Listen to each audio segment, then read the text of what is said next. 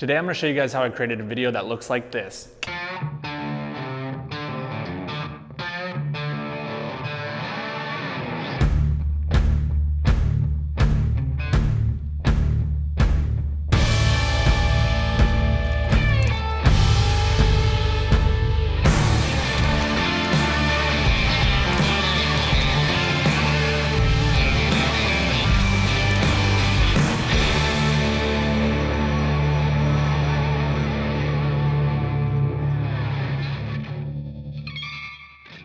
Okay, so for this tutorial, I wanted to emulate a very gritty whiskey style commercial, similar to something that you'd see from Jack Daniels. The challenges of this location were that it was very narrow, and I do apologize for the angles that we have for the BTS. It's just because of the barrels being set up, it wasn't easy to get the camera in there to get closer up shots for you guys to see. So I'm gonna actually explain a shot in a second, but I'm gonna do a new thing where I'm rating my tutorials and the difficulty of them. And the way I'm gonna do my rating system is by five chili peppers. And so for this tutorial, I think it is four chili peppers.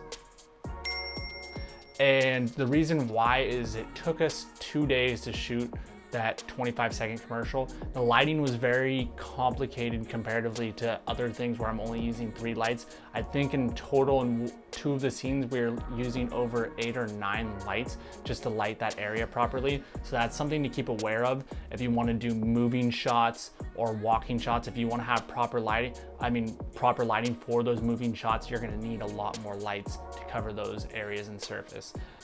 All right, so today I'm gonna to talk to you guys about how to shoot an on-location product video. One of the most important things that you do when you first arrive is that you wanna look at all the different areas on that site.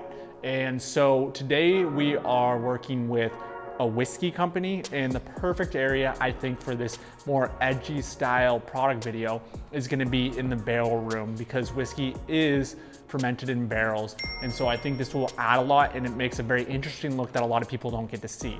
And so once I'm in the barrel room, the first thing I'm gonna do before I start doing any lighting is I'm gonna find the spot that I wanna use and right now I've decided that this going right down here, there's nice leading lines and then there's nice barrels as a backdrop and I think it's beautiful.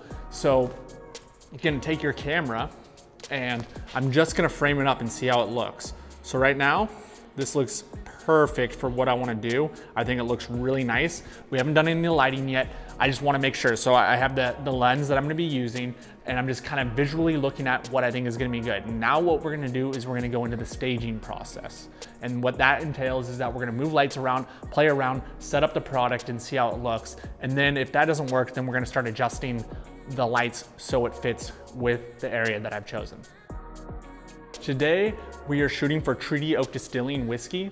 And what is important is really understanding your client and their aesthetic. Even if it's paid or not, what you're gonna wanna do is you're gonna wanna do the research. You're gonna wanna go on their Instagram, you're gonna go wanna go on their website and really look over and figure out their style.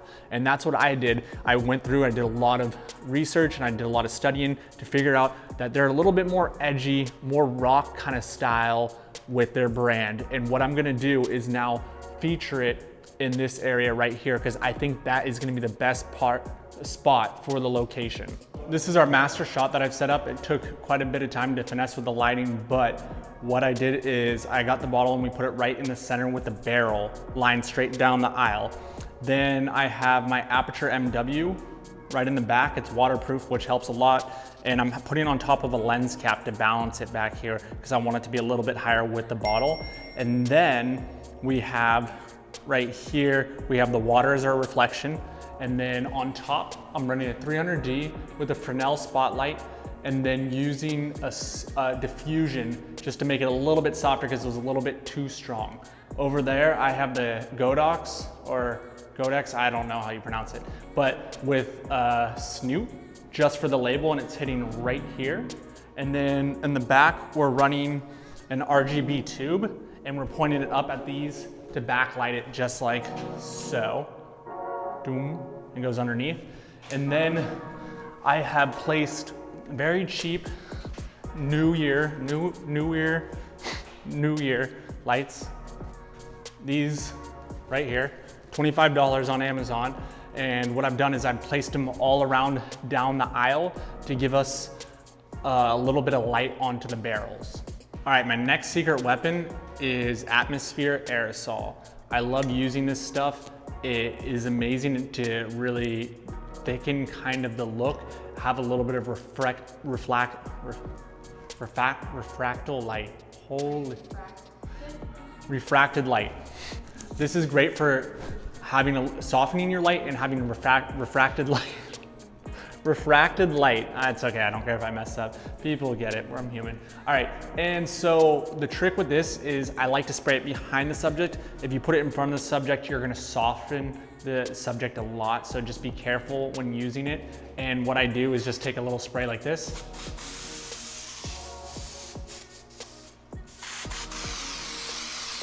And it causes a nice linger. We let it settle for a second and then it has a nice linger. And when the lights are off, you can really notice the difference. And I'll show you guys with the lights off right now. What I'm gonna do is I have the 1DX on the Ronin S, and then I'm using a 50 with the Polar Pro polarizer. Again, I use this to cut off the reflection on the bottle. And I'm just gonna go straight down towards the bottle using the autofocus and then come back straight back. And then maybe if I see any cool ideas, I'm gonna make some variations as I go.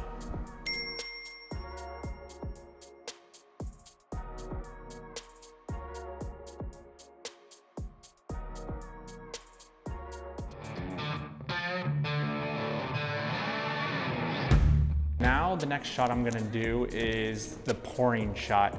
And so we got our glass right here. We've used fake ice again. And then we still have the Aputure 300 with our Fresnel and the diffusion, right, coming at the top light to give a nice overall lighting of the reflecting pool. And then I put the MC bat over here on the side now, and you're gonna love this. To diffuse it, paper towel. Really good trick. And it gives a really nice soft look and it's gonna give us a little flare coming into the camera, which I think is gonna be a nice warm look for the pouring shots. And then the last light that I have is right over here and it's the Godox with the snoot on it. And it just hitting from an angle to create a reflection. So your angle of reflection is by the level of the object um, towards the level of the camera. So the better of the reflection is the height of the camera to the object and the angle, you need to match that with your light and that'll create the perfect reflection.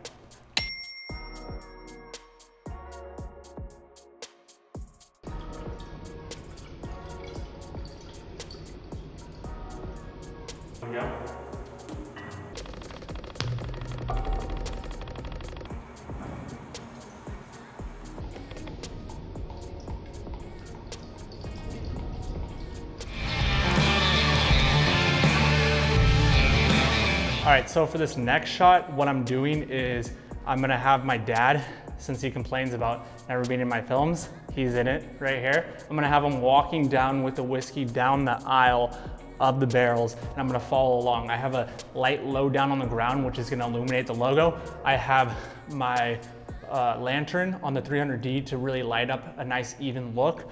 And then we have a back catch light right over here. I'm just gonna follow closely with the 35 on the Ronin and just capture the bottle swinging back and forth as he goes through these barrels.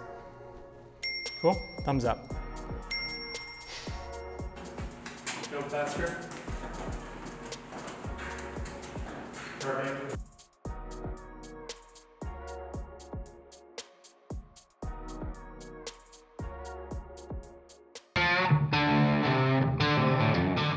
So the next shot that we kind of came up with, I realized that laying the bottle in with the submerged water looks really cool. So we're turning the tube on like this and we have a, we're gonna have this light right over here on this side. And what we're gonna do is just slowly roll on and off to grow the shadow. And in slow motion at 60 frames, it looks really cool. Cool. It does, but Dad, I'm doing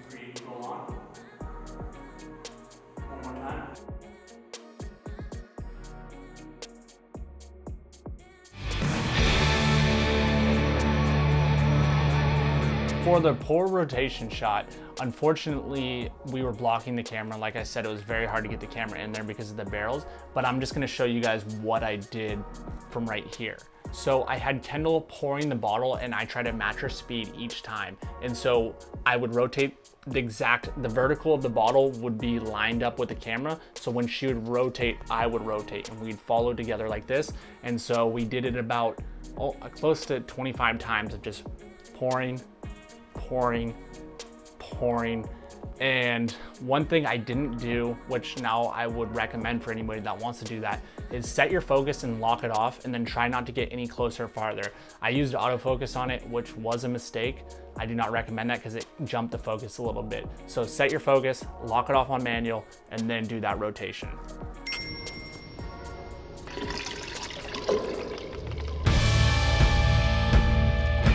All right guys, I really hope that you enjoyed this video. I wanted to keep it simpler than a lot of my other videos because I know that I've been showing all these crazy techniques using a drill and all these different movements, but I wanna show you guys something that really just relies on cinematography, location, and lighting because those things are gonna be huge. You don't need to do all these fancy movements. You don't need to do all these crazy cuts you can if you can have solid cinematography and lighting you're gonna make a beautiful product video no matter what um, if you guys like this video, please comment, share, subscribe if you have any questions, and until next time.